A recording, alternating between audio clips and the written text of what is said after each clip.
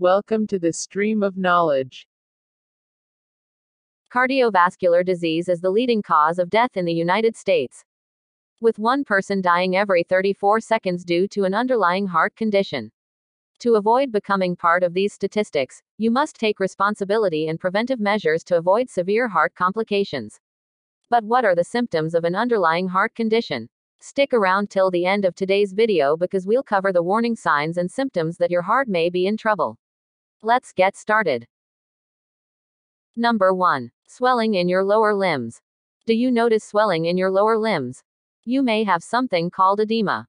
This condition causes the appearance of puffy legs, ankles, and feet. Edema occurs because too much fluid is trapped inside your body's tissues.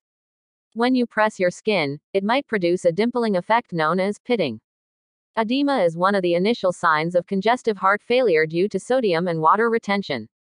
Do you feel like you're dragging your legs as the end of the day approaches?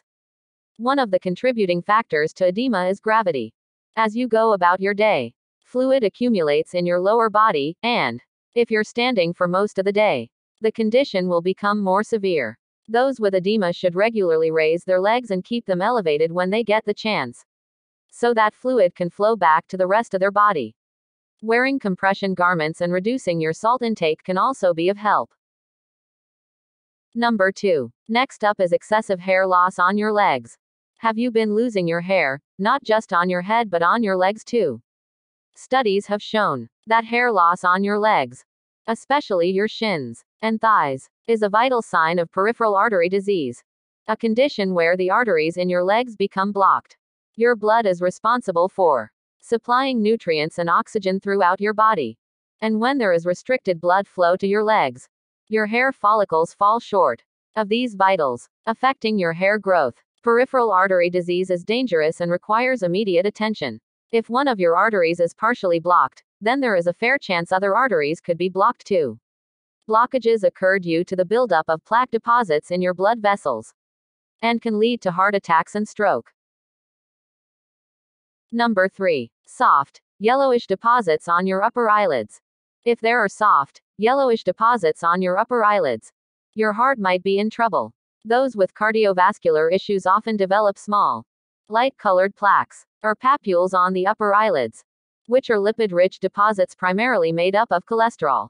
This condition is called xanthelasma. Around 50% of people with xanthelasma have unbalanced lipid profiles, meaning their HDL, LDL cholesterol, and triglycerides levels are on a roller coaster ride which can be extremely harmful to your body. High LDL cholesterol and triglycerides can cause plaque buildup in your arteries, restricting the blood flow to your heart and hampering its ability to pump blood effectively, leading to cardiac issues. Xanthelasma is commonly in those with diabetes, low HDL or good cholesterol levels, fatty diet, excess alcohol intake, and weight gain, all of which are significant risk factors for heart diseases. Number 4. White or gray ring around the outer part of your cornea. Have you noticed a white or gray ring around the outer part of your cornea? This grayish outer ring is called arcus senilis and is a buildup of lipids, mainly cholesterol. The cornea is the outer layer of your eye which is transparent and round. Beneath the cornea lies the iris, the colored part of your eye that controls the amount of light that enters your pupil. Arcus senilis can make it seem like your iris has two colors. But it is the cornea's discoloration due to high cholesterol. This common age related condition is mostly harmless and doesn't necessarily require medical intervention. However, those below 50 with a gray ring around their cornea might experience dyslipidemia. A condition where they have high cholesterol, for example LDL, which is also known as bad cholesterol and triglyceride levels. Number 5. Poor healing leg ulcer. Did you know a poor healing leg ulcer could indicate a developing heart issue? Leg ulcers are open sores on the skin, often caused by an injury.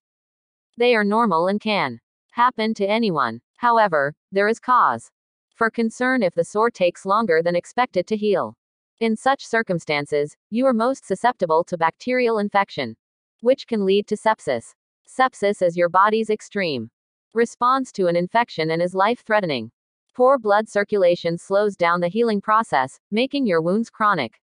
Blockages of blood vessels can cause such alterations in Blood flow due to the development of plaque in the inner lining of your arteries. This is known as atherosclerosis. This damage could also occur due to diabetes.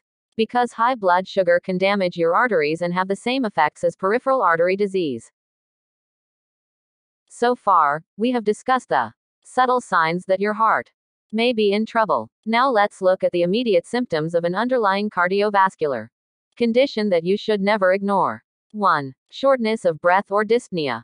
2. Chest pain. 3. Pain in arms, neck, and shoulders. 4. Nausea. 5. Cold sweats. 6. Coughing incessantly. 7. Constant fatigue. 8. An irregular heartbeat.